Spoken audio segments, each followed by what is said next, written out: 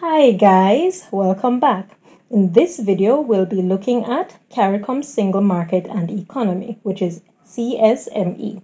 Okay, so we're going to look at what is harmonization of foreign policy. Okay, so what is this? This is really the process of creating common standards across the internal market. That's it in a nutshell. Okay, but I'm going to give you the details of what we really mean by harmonization of foreign policy. Okay? Now, the idea behind foreign policy, harmonization, right, is that this will um, strengthen the region in its dealing with the wider world, right? So, from this position of strength, the region will be better placed to ensure that, you know, any arrangements made externally will serve the best interests of the region, right? Now, presenting a you know a united front, right, in foreign affairs, um, also will you know this will also you know tend to enhance regional identity. Okay, so that's harmonization of foreign policy, and that's a detail of it. Details of it. Okay, all right. So, moving on to the single market. Okay, now the single market, the key elements within, you know, the idea of a single market are first up, free movement of goods and services. What is this? Now, free movement of goods and services achieved through, you know, measures um, such as eliminating all barriers to um, intra-regional movement and harmonizing um, standards to you know ensure acceptability of goods and services for trade. Okay? So next up we'll have rights of establishments. Now this is really permitting the establishment of CARICOM owned uh, CARICOM owned businesses right in any member state without restrictions. And next up, we have free movement of capital. Okay, what is this? Now, this is through, you know, measures such as eliminating foreign exchange controls, convertibility, and also uh, of currencies uh, or the adoption of, you know, common currency and also the creation of um, an integrated capital market such as uh, regional stock exchange. Okay, so next up we'll have free movement of skilled labor. Now, this is um, achieved through measures such as removing all obstacles to the free movement of skills, labor, and travel harmonization, um, harmonizing, sorry, social services. For example, like education, health, um, etc., right? And also providing for the transfer of social security benefits and establishing common standards, right? And also measures for, you know, accreditation and equivalency. Okay? All right. So moving on to a common trade policy. What is this or what does this mean? Now, a common trade policy, which would, you know, they would see um, agreement among the members regarding matters related to internal and international trade and also a coordinated external trade policy, which is negotiated on a, you know, joint basis. Okay? So, next up, we have a common external tariff. Okay, what does this mean? No, this means um, this would see a rate of you know duty applied by all members of the market to a product imported from a country that is not a member of the market. Okay, so that's what external tariff mean. A common external tariff. So, last but not least, free circulation. What is this? uh, this is really um this would allow like free mo- movement right of goods imported from um, extra regional, you know, sources which would require collection of taxes at first point of entry into the region, right? And provide for sharing of collected cost of revenues. Okay, so that's single market.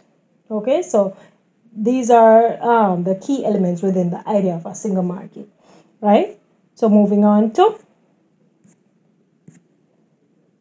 single economy. Now we're going to look at some of the, um, you know, a single economy would see, you know, harmonization as. Uh, so first up, we're going to look at legislation. All right, what do we mean by this? This um really include um, includes um, company laws and those involving intellectual property rights, right? So next up, fiscal policy measures. What is this? Now, this includes coordinating um, indirect taxes and national budget deficits. Okay? Next up, monetary policy measures. Now, this includes coordinating exchange rate and interest rate policies, right? And also coordinating the commercial banking market um, and exploring the introduction of a CARICOM common currency. Okay? Last but not least, economic policy measures. What is this? Now, this one includes coordinating and covering um, of macroeconomic policies and performance. And for those of you who, do, who don't know what macroeconomics is, I suggest you look it up. Um, so, um, so macroeconomics policies, performance, and harmonizing um, foreign investments policy and adopting measures to acquire, develop, and transfer appropriate technology and introducing appropriate policies across agriculture, manufacturing, and fisheries. Okay, that was a long one. Okay, all right. So, guys, uh, national governments within the region have to consider which areas of the economy, such as you know sustainable energy, agriculture, manufacturing, or tourism, are likely to be the main drivers of economic growth, right? And therefore of development and transformation. Okay? Right. Now, what we'll be looking at next are uh, uh, up next we have uh, to look at the common supportive measures of the revised treaty of Chaguaramas, right? So that's what's up next. All right, common supportive measures. And now, as I said before, this is um of the revised Treaty of Chaguaramas, right? Now, these are also known as the features, which are implemented through the CSME. Okay, so we're going to look at them. First up, developing of programs. What is this?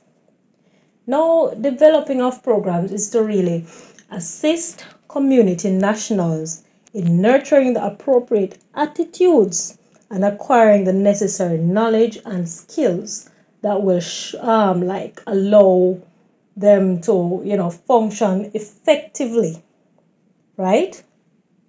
Now next up we'll have developing of attitude and skills okay what is this? So, simply put, developing of attitudes and skills required um, to encourage entrepreneurship.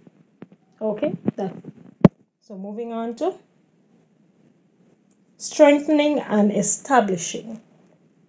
Now, this is really where educational and training um, institutions and building distance education is concerned, right? So that's strengthening and establishing, right? all of that all right so moving on to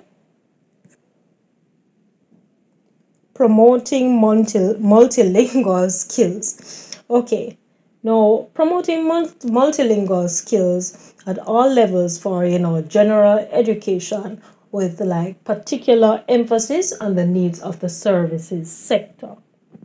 Okay? All right. So, next up, we'll be looking at Regional Development Fund.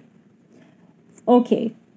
Now, this is for the sole purpose of providing financial or technical assistance to disadvantaged sectors, countries, or regions. Okay, now this fund was also established under the revised Treaty of Chaguaramas. Okay, guys?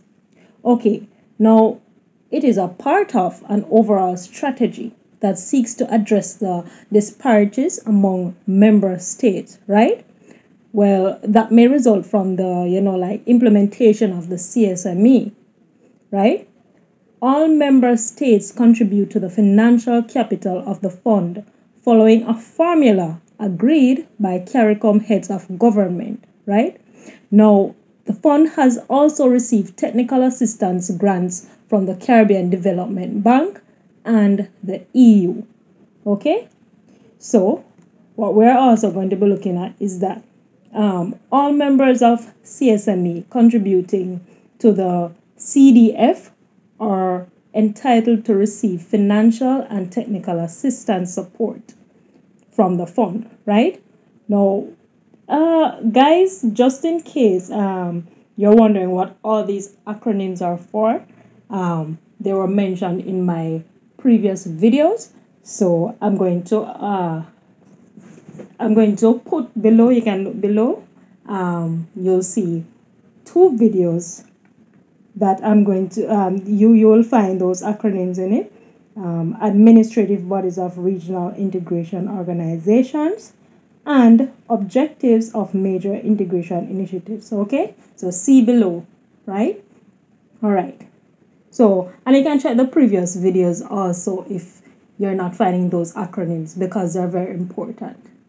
All right so where was i? Okay. Initially um you know initially access to the resources was you know limited to the regions ldcs in the oecs to belize and to guyana right? Which you know as a highly indebted poor country. Those are poor countries right now the cdf focuses on distributing loans and grants to small to medium sized uh, projects that address objectives related to the implementation of the CSME. Okay? Okay, guys, that's the end of my video. Uh, thanks for watching. And guys, for those who have subscribed, thank you very much.